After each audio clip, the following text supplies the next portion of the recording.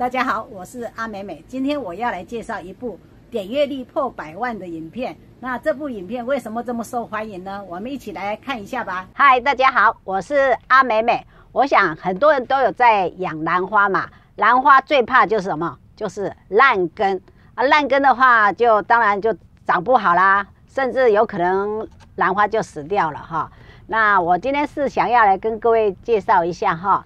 诶，如何利用一个保特瓶哈来做一个容器哈，让这个兰花长得更好，然后不会烂根，然后搭配着那个发泡炼石，因为我们都知道发泡炼石的排水性很好。首先准备一个这种罐子哈，我今天举例的是用方形的罐子哈。那至于怎么做，我们现在就开始喽。那首先当然是把标签纸弄掉了，先剪开哈，好，剪开喽。那我们现在先来做那个集水杯哈，怎么做？那因为它这有条纹很明显的，那我们就可以根据这个差不多四格半的地方，我们来做个记号哈，四条半哈，一二三四，到到这边四四条半哈，我有准备那个签字笔，我要做记号，我们现在就来做记号。好，画一圈哈，那我们现在就来把它割开喽。割开，先先用美工刀哈，跟它弄一个口。好，再来，我是用这个钩刀哈，我是觉得钩刀比较好弄啦。那我今天就用钩刀哈。刚才那个口在这边哈，我们就来开始钩刀，嗯，差不。哦，如果觉得有太离谱，就稍微修一下了哈。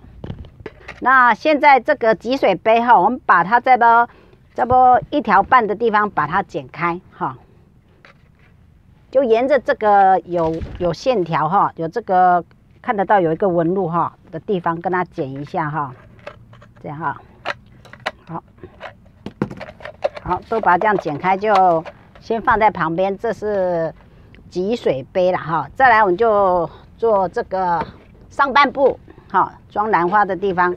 那我们也是一样，把它剪剪剪抽，也是剪到这个地方哈，也是把它剪开哈，剪到刚凹槽的地方，好，剪的哈。那剪完以后，我们就把它沿着这有线哈，然后它这边有个线，你就沿着它往往外折哈，每一个都要把它往外折。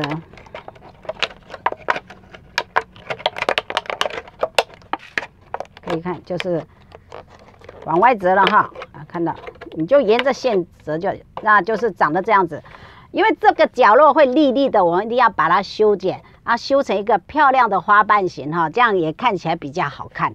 那我们来修一下喽，像这个，你看这个容易刺到手，就比较危险一点哈。万一弄受伤不好，你就把它稍微修剪一下哈，弄弄成一个比较有弧度的那个花瓣。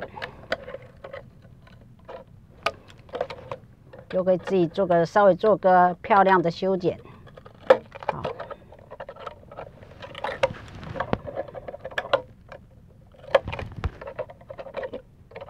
这个我们就是到时候是这样子哈，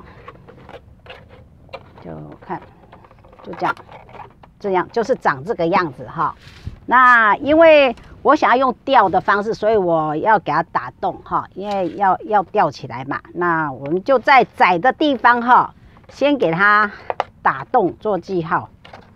好，我准备那个那个烙铁哈，那我们就是打这边打一个洞。好，定位对称的地方，它这个对称的地方先打过，先这边先打，再打一个。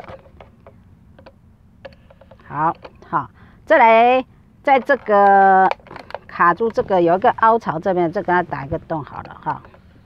相对就是一样是垂直下来的，好，这边也是一样打一个好洞，好好这样就好了。那我是建议各位哈，稍微做个记号，因为等一下打很多。气孔哈，怕你到时候不好找。那我习惯的话会是用签字笔稍微做个记号，等一下才不会找不到。好，那我来先跟他做记号一下。好，咱稍微做一下记号了哈，这样比较保险。好，我是这样稍微做个记号了哈。好，记号做好了，那现在就要开始来打洞喽。那我是建议各位就是在上面打很多的气孔哈，那就是打越多越好，它就是越通风嘛哈，那个透水性就越强了哈。那我们现在就开始来打喽，那这边也要打一个气孔，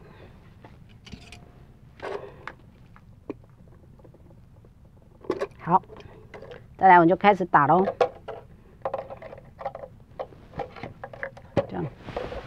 这样好，都无差，就是打越多越好哈，打越多越好了哈。那我就是在这边示范一下哈，这样是不是就打好了？我们就把它放下去，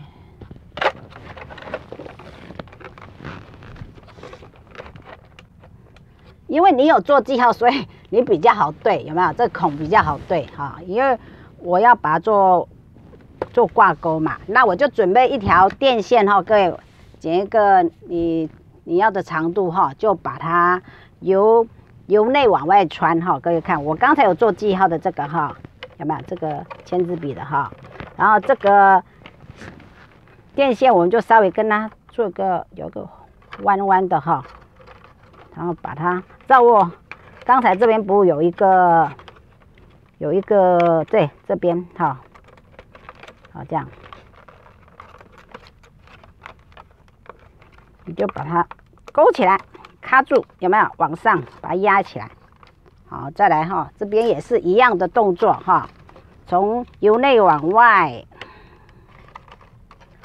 然后做一个那个弯弯的，然后这边有没有？这边，所以我才跟各位讲要做记号，因为洞太多哈，不好弄。好，这样就很牢靠了。各位看，那也许网络上有人讲说，你这两层就用焊用焊起来，我们发现不太牢靠，所以我们就是改这种哈，用铁线直接就弯过来，这样两个勾勾在一起哦，这个就牢靠多了。哈，所以我是觉得各位可能可以参考这种这种做法了哈。那这个基本上这个这个容器就做好了，然后我要在这边打一个。排水孔，哈，因为尽量排水孔不要打太多，才能够保住湿气了，哈。那我找也不能说太大概的地方打一个，啊，这边看得到比较大中间的打一个就可以了，哈，哎，好，不要打太多，只要一个那个排那个排水孔就好了。那这样是不是就做好了？很漂亮吧？利用宝特瓶做的那个装兰花的容器，应该透气性非常的好。我打了很多的气孔，好，然后这上面也有那个花瓣的造型，就更好看了哈。那再来，我就是准备了，各位看，准备了这个发泡炼石，好，这个发泡炼石各位都知道，那很多人会在那个盆子底下放一些发泡发泡炼石，让它。排水性很好，所以我们今天为了不让兰花烂根，我们就用发泡炼石。我准备了哈，诶，一盆的蝴蝶兰哈，我就把它放在这个做好的那个容器里面，好，然后我们就给它放入那个发泡发泡炼石。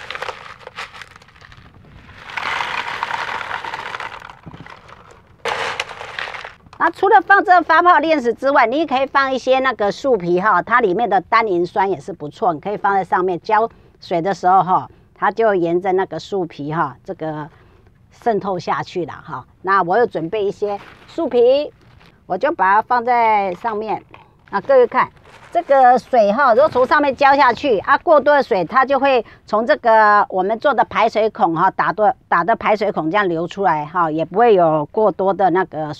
水留在里面，那一方面只有一个气孔的话，它水就是说这这个湿度会比较够就对了。